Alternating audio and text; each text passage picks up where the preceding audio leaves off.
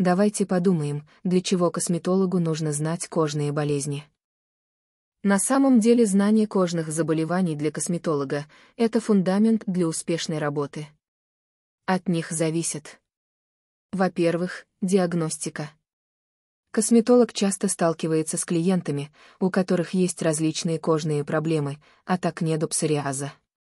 Чтобы правильно подобрать процедуры и косметику, специалист должен уметь отличить обычные косметические проблемы от серьезных заболеваний.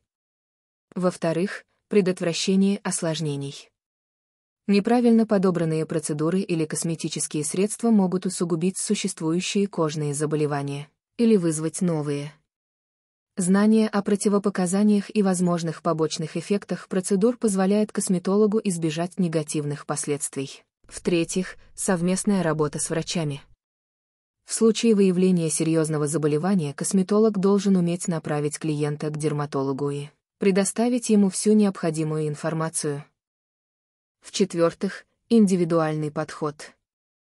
Каждый клиент имеет свои особенности кожи, и косметолог должен уметь составить индивидуальную программу ухода с учетом возможных заболеваний и склонностей к ним. В-пятых, индивидуальный подход. Постоянное изучение новых данных о кожных заболеваниях позволяет косметологу быть в курсе последних достижений в области дерматологии и косметологии.